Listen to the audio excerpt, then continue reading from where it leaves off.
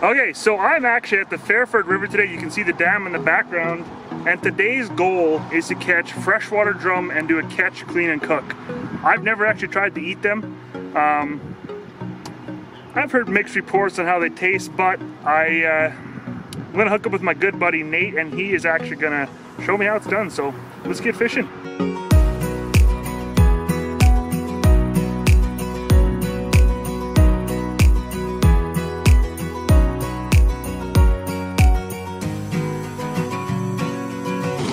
Right, that's just a white 3 8 ounce uh, Cabela's jig.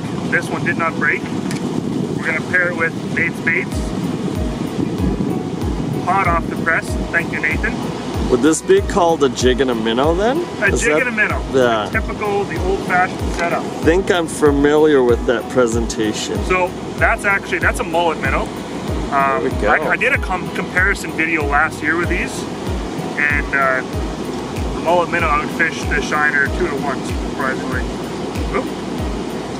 Slippery little suckers. So, literally, if I can actually get this hook in there. Okay, so that's all I'm doing. Hooking it through the mouth, up through the back of the head like that. You guys can see that.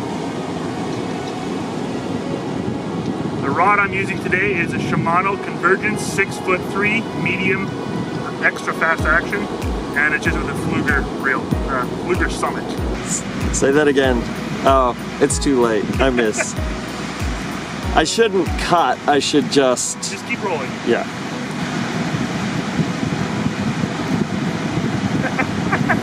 no.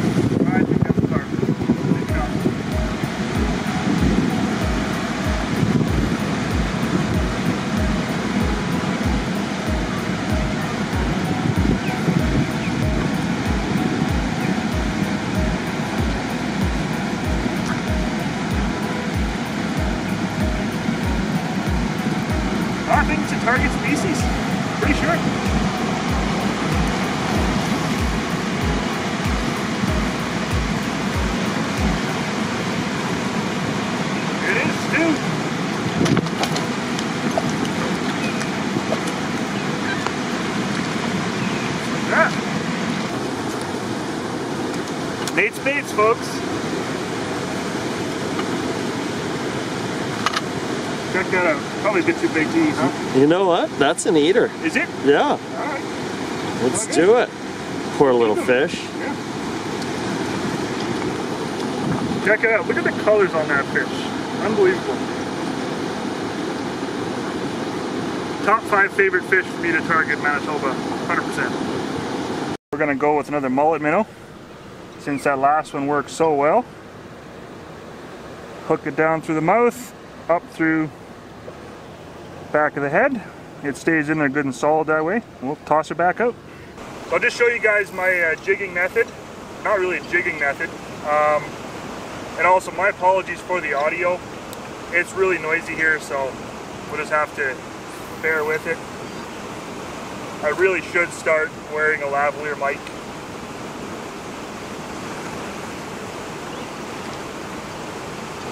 So I cast it out there, let it drop down into that slack water, and I'm just gonna tap it towards me, keep it off bottom a little ways. There's a lot of snags in here.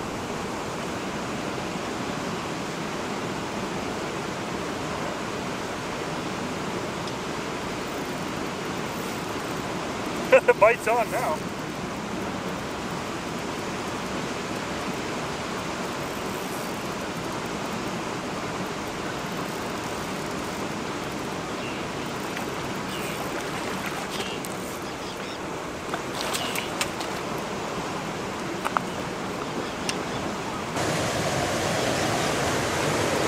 That.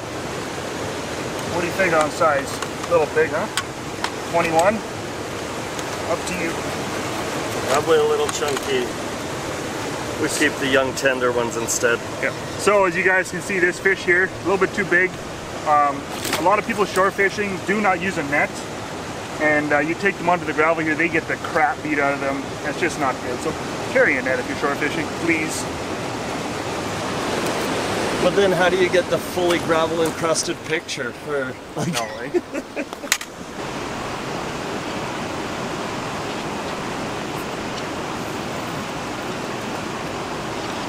I may have sniped a carp. or a master angler drum. Where you're looking for either. not master angler.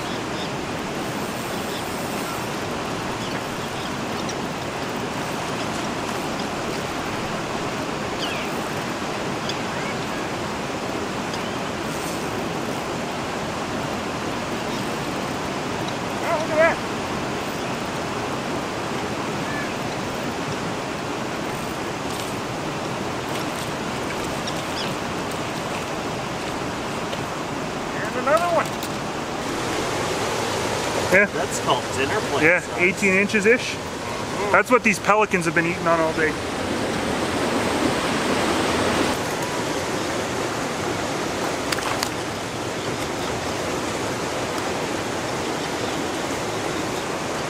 I love these fish. I really do love them. Still don't beat a pike though. So I was down here today checking the bait fish trap, and Darren and I were talking about eating freshwater drum. A lot of people don't. I do. I think they're delicious, but you have to prepare them correctly. Um, the really, really oily fish, um, I like to take a lot of the fat off just because that's where the stronger fishy flavor is. If you like fish taste, oily, fishy taste, then don't follow my instructions. But if you like firm, white meat, almost like a chicken breast, try this. So first step is we bleed out the fish. Um, much, much cleaner to handle. And I find uh, some of the stronger taste is in the blood of the fish. So I always start out by bleeding them. Then I'm hoping that there's not too strong of a shadow here. But what I do is I go in the top of the back. Um, so I'm gonna punch in, get under the skin. Big coarse scales on these fish. But under the skin, down the back, like so.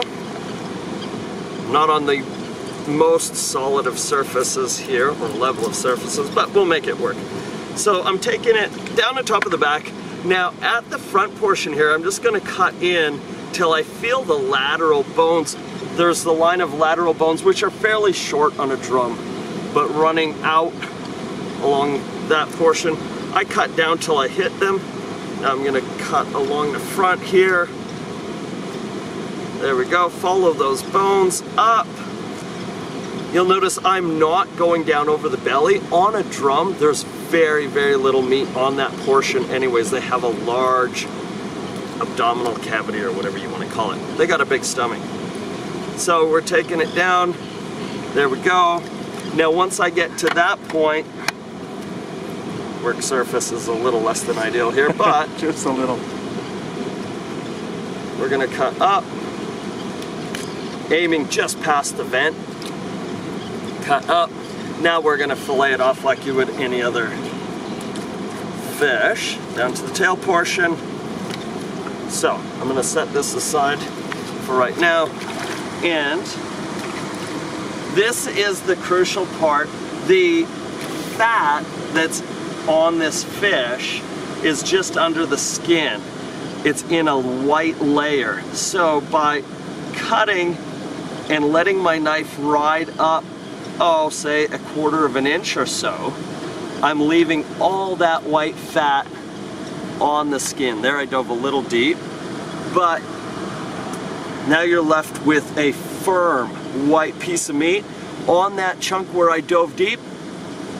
If it's focused, you'll be able to see a white layer of fat.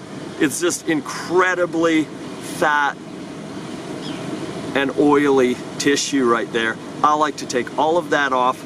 I'll also sometimes trim this brown colored flesh out.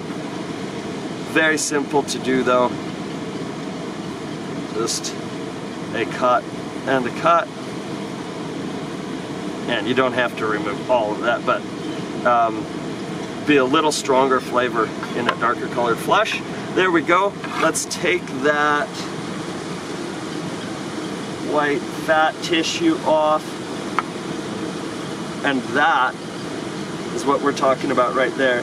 I trim this little bit of fat off the top. There we go. Beautiful. And that right there is ready for the grill. We'll just marinate it a little bit and away we go. I'm looking forward to trying that. We'll finish them off and we'll maybe try feeding the carcasses to the pelicans.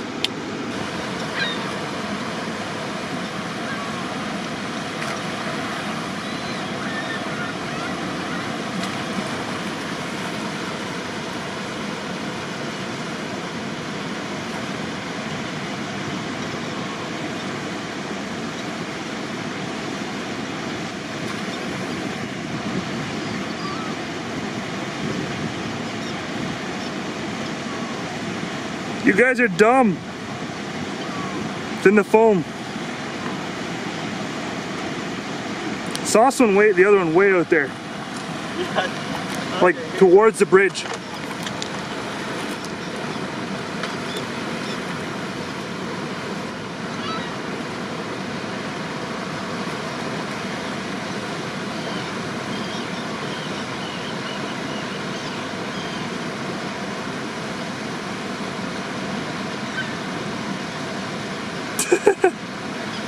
That's a naked fish!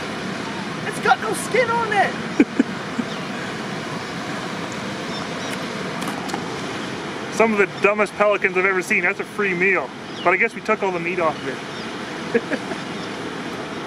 Let's go eat them. So we're going to thin this up a little bit just so that the marinade penetrates quicker and they cook faster. I like it fairly well done on the grill. Um, so there we just split it like that, thin it up a little, that in there.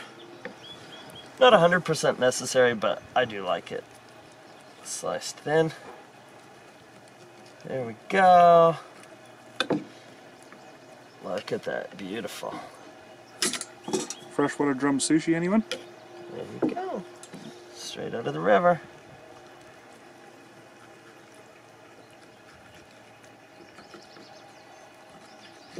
Looks like you've done that a time or two.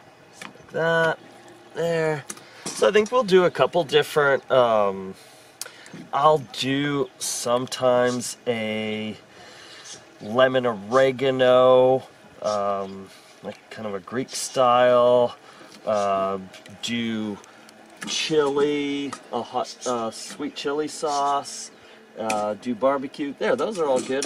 So what we're gonna do now is just add a dollop of the secret sauce to each one. So, here comes some sweet chili. Yep.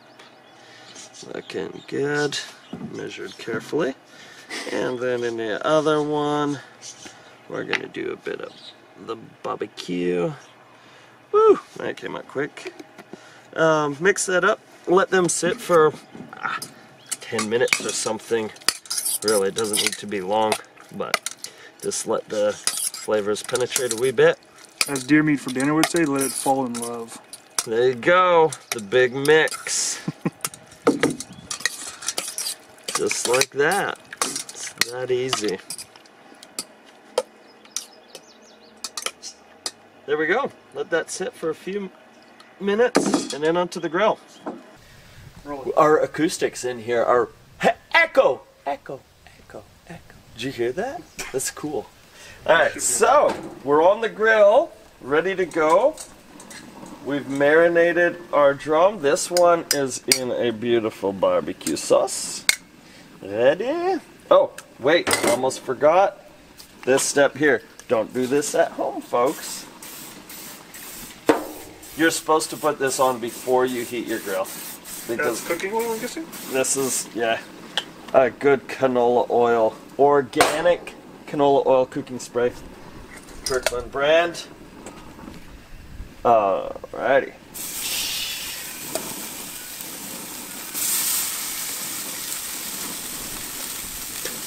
Look at that. Beautiful. It's all about the sizzle, folks. If that one survives without dropping through the grate, I'll be amazed. Mm -hmm right, and this now we're talking sweet chili sauce. Sweet chili o' mine right here. Love that flavor. Going on. Look at how beautiful white firm meat. This stuff is almost like grilling a chicken breast. If you tried to do this with walleye, it would fall apart, just completely crumble on you. Drum is firm, flaky whiteness. Just absolutely scrumptious. So, we're going to close the lid and give that about three minutes. What are you cooking it at? Uh, 350 until it goes to 500. It's showing 350 because I had the lid open, but it's smoking hot. We're probably pushing 5 500-ish. Ooh, look at that. Okay, here's our tender little morsel. I'm going to look after that right away because it's going to come off really quick. Oh yeah. That's what I'm talking about right there.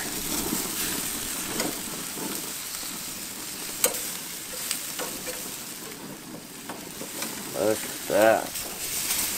Delicious.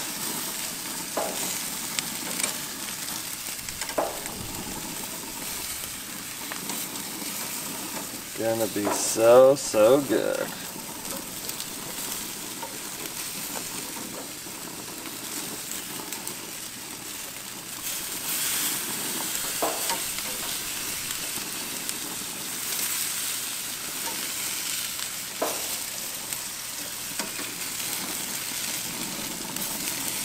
Look at that, folks. All right, now we'll finish it off. Give it another probably four minutes. I'm going to turn the heat down at this point and just let it finish off. I like it fairly well done. Um, it's a nicer texture. If you let it cook fairly well, let it dry slightly. Mm, almost forgot. Let's get this stuff off the grill. So we just finished it off for a few minutes at a little lower heat.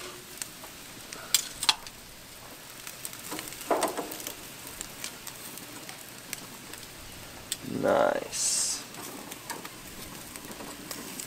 Gave it probably another four minutes or something. And because it's thin, cooks really pretty quick.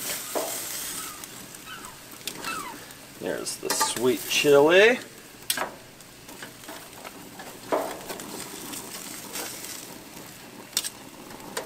Go, look at that. Beautiful, flaky whites. That smell is amazing.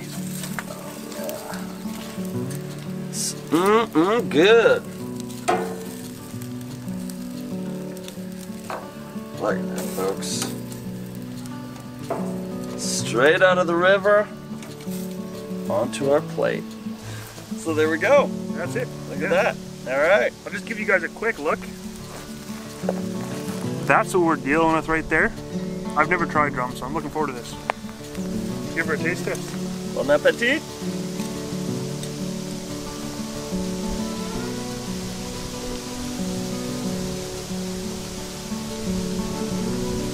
Tastes like chicken. It actually kind of does. it, the texture is not that far off like a barbecue chicken breast. Right, it's really firm. Flaky, white, firm, mild, very mild. So that first piece was the chili. was- Sweet chili. Sweet chili. I like the chili better. Than Than the barbecue? Yep. Yep. And the thing is, you can use any sauce. Uh, one of my favorites is um, just simple lemon juice and oregano. Awesome. Avoid anything that's oily. I, I don't use a vinaigrette or anything on it, um, or a dressing. Adds to it. Say people say use Italian dressing. Well, that's a oil vinegar mix, and the oiliness uh, doesn't go well with this. It's a really quite a rich fish, quite a fatty fish. So stick with something that has a low fat content, but I mean, it's delicious. 10 out of 10 would recommend. Yep, Oh yeah, Absolutely. unbelievable. There you go, folks. More food for you to eat. Limit is 10. Remember, don't keep anything over 24 inches. And you only want to eat the 17, 18, 19 inches anyways. Those are the best eating fish. Yep. Hmm. So good. Yeah. I'm definitely doing that again. All right, well, thank you. Appreciate it. My my pleasure. That was fun. He actually offered to help hold the camera before, and that was that was perfect. I hate self-filming summer fishing videos. So. Anyways, that's all we got for now. More videos coming very soon, and don't forget, buy Nate's baits. Like it's good. Highly recommended. It'll catch you some drum.